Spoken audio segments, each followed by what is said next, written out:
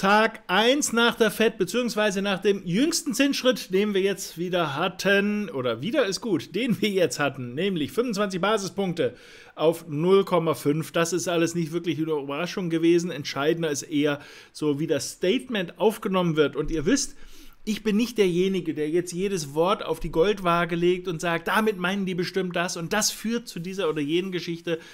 Das entzieht sich im Zweifelsfall meiner Kenntnis. Ich gucke darauf, wie die Marktteilnehmer das auffassen. Denn letztlich sind die ja auch diejenigen, die den Preis nachher dann für die aktuelle Situation zur Verfügung stellen. Und deshalb ist das für mich eine wichtige Information. Am liebsten habe ich im Moment sogar den Kurs von der Nasdaq. Denn der ist, wir sehen das hier im 4-Stunden-Chart, so schön nach oben gegangen. Hier der Future auf den Nasdaq 100. Das ist äh, ein so schöner Anstieg, den wir hier haben. Man kann sich noch so ein bisschen mokieren, wie ist das hier intern, wie sieht das hier aktuell aus. Wir hatten hier einen starken Rücksetzer auf der anderen Seite. Ich mache das nochmal groß hier im 5-Minuten-Chart. Hier war der Tiefpunkt. Auf der anderen Seite lässt sich das ja eigentlich nicht so richtig korrektiv im Moment erklären.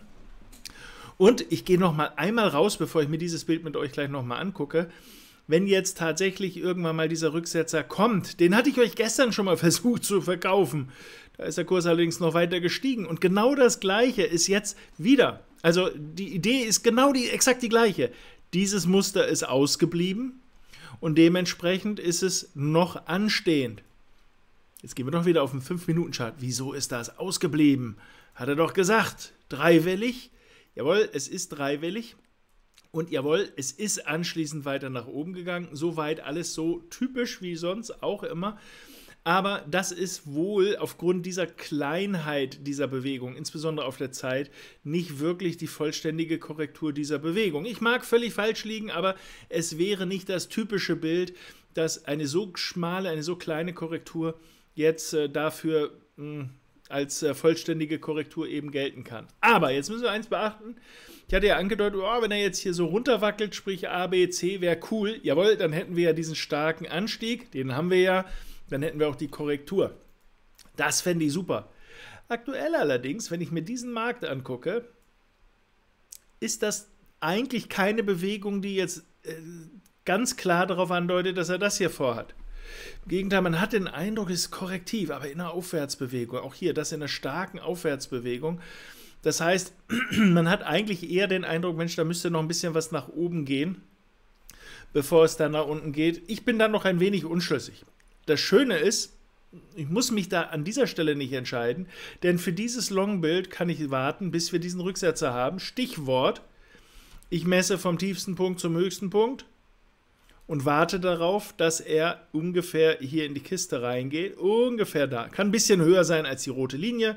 Ich habe es jetzt hier mal so halbwegs angedeutet, aber so in diesem Bereich in etwa. Solange er da oberhalb irgendwie rum eiert, klar kann es auch nach oben gehen, aber reden wir nicht von einer Wiederholung dieser Geschichte. Zumindest mal nicht als vorrangiges Bild. Warum? Wenn das die abgeschlossene erste ist, dann ist es typisch, dass die Rücksetzer dahin gehen. Das ist statistisch eben das klassische, das wahrscheinliche Bild. Wir haben häufig über diese Rücksetzer gesprochen. Wie weit gehen hier Rücksetzer nach unten? Idealerweise, wann kippen die Verhältnisse? Ich will das jetzt hier nicht so sehr äh, äh, auf eine akademische Art lösen. Wir wollen jetzt hier in der Praxis bleiben. Aber das wäre eigentlich so klassisch, dass der Rücksetzer da bis dahin erfolgt. Das müsste allerdings auch korrektiv erscheinen.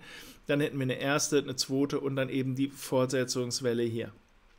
Wenn der Kurs so klein bleibt, ich mache mal hier diese Skizze weg, also nur bis hierhin, dann ist die Wahrscheinlichkeit, dass das die vollständige Korrektur dieser Bewegung ist, sehr gering.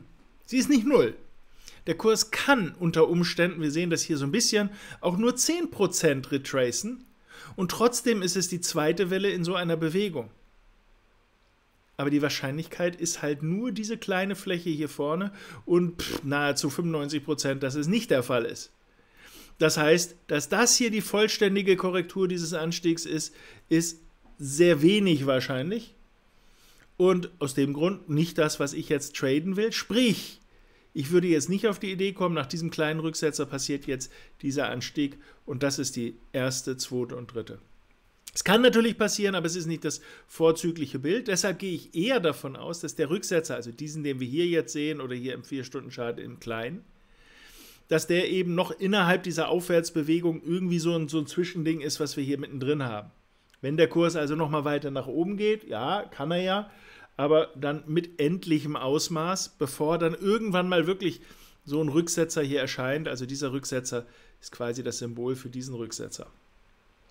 Damit seht ihr, es ist äh, eigentlich eine tolle Basissituation. Der Teil fehlt allerdings noch.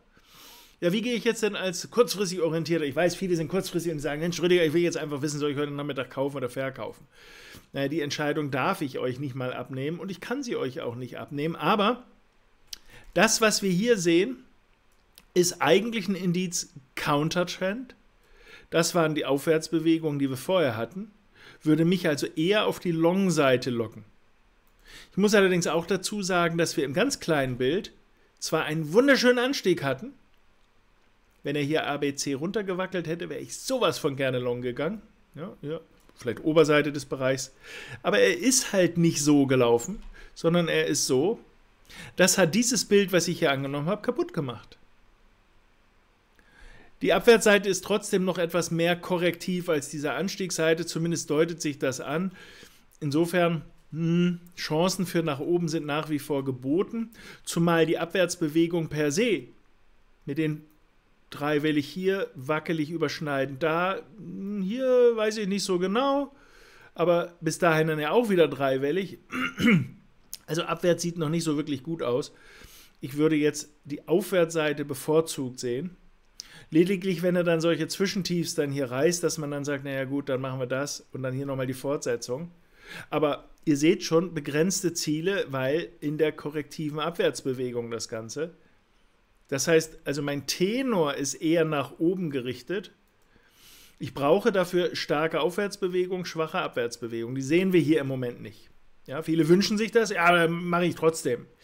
Ja, trotzdem machen ist meistens keine gute Empfehlung an den Märkten. Gucken wir mal den Vergleich, was macht denn der S&P 500? Da ist das Grobbild gleich, das gehe ich jetzt mit euch nicht nochmal durch hier. Ihr ahnt das, guckt es euch selber sehr gerne auch im Chart an. Ich möchte ja, dass ihr eure eigenen Augen auch schult dafür.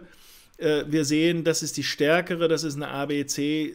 Ja, hätte ich jetzt aber nicht gehandelt, oder haben wir auch nicht gehandelt, weil das hier äh, mir zu ähnlich hoch ist, dann ist meistens das Chance-Risiko-Verhältnis nicht mehr so toll. Wir sehen aber, dass sowohl auch diese Aufwärtsbewegung, die wir im Moment haben, ja ebenfalls wieder überschneidend ist. Das heißt, der Markt ist korrektiv runter, der Markt ist korrektiv hoch. Was soll mir das sagen? Nicht nur der Rüdiger hat keine Ahnung, hat er sowieso nicht, sondern der Gesamtmarkt weiß noch nicht so richtig, was tun. Das bedeutet, diesen Markt und der Dow Jones, nein, Entschuldigung, den Nasdaq hatten wir eben angeguckt, ja ähnlich, die haben keine Entscheidung. Da mache ich doch jetzt nicht, ja, dann gehe ich jetzt long. Denn ich weiß es besser. Kann ja sein, dass ich es besser weiß, aber wenn die anderen es nicht kapieren, ist auch doof. Das heißt, keine Trading-Situation. Auch dieser hier, aktuell keine. Wann wird das wieder eine Trading-Situation? Entweder wenn das hier kommt, wie wir es hier angedeutet haben.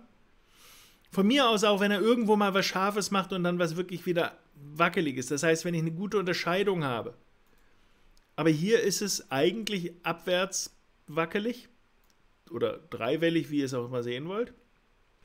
Das heißt eher die Long-Seite, wenn er dann nochmal drüber geht, hier über diese Hochmarke, dann eher die Long-Seite. Aber toll finde ich die auch nicht, denn die Long-Seite hat hier begonnen. Das ist der tiefste Punkt nach dieser Korrektur. Da haben wir die Überschneidung. Das heißt, ich bin nicht motiviert für die Long-Seite. Ich finde sie latent besser aber wenn es um echtes Geld geht, finde ich latent nicht ausreichend. Ja? Also insofern ist das keine gute Situation. Ihr erahnt es beim Dow Jones, es ist ähnlich. Beim Dow Jones hat man noch so halbwegs die Idee, ich gehe mal auf Minute, nur dass ihr das mal seht. Ihr könnt das auch nochmal runterbrechen dass zumindest hier das hintere Ende jetzt eher vielleicht sogar nochmal so ein Zwischenshort erlaubt, aber richtige Formulierung, ein Zwischenshort, denn wir sind hier auch in beide Richtungen. Das, das Bild ist nahezu identisch mit dem, was ich euch eben gezeigt habe. Das sind alles Korrektivmuster, das heißt in beide Richtungen jetzt korrektiv. Ich gehe mal davon aus, dass er bald hier zum Ende kommt. Nicht notwendigerweise sofort. Diesen Rücksetzer, den ich hier gezeichnet hatte, der wäre eigentlich ganz klasse, um da nochmal einzusteigen. Ja, und der DAX? Eigentlich ist der DAX auf einer ganz anderen Schiene unterwegs, passt aber gar nicht so schlecht dazu, denn auch der DAX ist ja sehr deutlich nach oben gelaufen. So ein bisschen die Struktur, wenn wir den Index angucken, ist noch nicht so 100% klar. Ist das jetzt doch nur eine A, B, C? allerdings sehr schmal im Verhältnis zu dieser Abwärtsbewegung. Oder soll das vielleicht doch irgendwie was Fünfwelliges sein, wo wir da vielleicht noch irgendwo dran sind? Das müsste man noch mal gucken. Achten wir auf das, was hier kommt. Nämlich wackelt es hier runter, so ähnlich wie wir das eben angesprochen haben. Also insofern wären die beiden Märkte wieder zusammen, nämlich der amerikanische und der europäische, oder in dem Fall der deutsche konkret. Dann wäre das hier eine wunderbare Idee, die Fortsetzung nochmal zu handeln, denn dann ist das deutlich stärker als diese Seite. Im Moment sind das nur Studien. Denn das, was wir hier sehen, und das, was sie beim, beim amerikanischen Markt gemacht hat, hängt ja noch davon ab, ob hier diese wackelige Geschichte in die Kiste kommt. Wie war das nochmal in die Kiste? Merkt euch, zeichnet vom tiefsten zum höchsten Punkt. Dann habt ihr die Fibo-Marken. Ich mache es mal einmal größer, das ist jetzt hier auf Tagesbasis. Habt ihr die Fibo-Marken. Und dann wäre zumindest ungefähr 61,8 auf der Unter, 38,20, wenn es ein bisschen höher ist. Denkt immer dran, ABC und wenn es nicht ABC sein soll, wackelig geht auch, aber eben korrektiv, dass man die beiden schön voneinander unterscheiden kann. Je deutlicher die unterscheidbar sind und diese Maße stimmen, desto eher geht das dann auch nochmal in diese Richtung nach oben. Da das hier noch fehlt, wäre jetzt meine Bereitschaft, noch jetzt noch long zu gehen, übersichtlich, höchstens auf einer kleinen Ebene. Und jetzt zu shorten, hm, dafür habe ich hier noch keinen Anlass. Ja, auch beim DAX Future hm, das, was ich hier sehe, das ist alles noch die gleiche Krempel, was wir angesprochen hatten in, bei den Amerikanern. Das ist alles noch Korrektivmuster, also ein bisschen Pausemodus angesagt. In diesem Sinne, soweit die aktuellen Indizes. Ich hoffe, das hilft euch ein bisschen weiter und zeigt euch auch, dass es nicht immer möglich, doch nicht immer nötig ist, in jeder Situation sofort zu wissen, zack, jetzt mache ich das, das ist das nächste. Im Zweifelsfall, ja, dann halte ich mich da mal vorsichtshalber raus und macht da mal nichts. Und warte, bis der, die Marktteilnehmer sich eben für diese eine oder andere Richtung da entschieden haben. In diesem Sinne, euch alles Gute, liebe Grüße und bis zum nächsten Mal.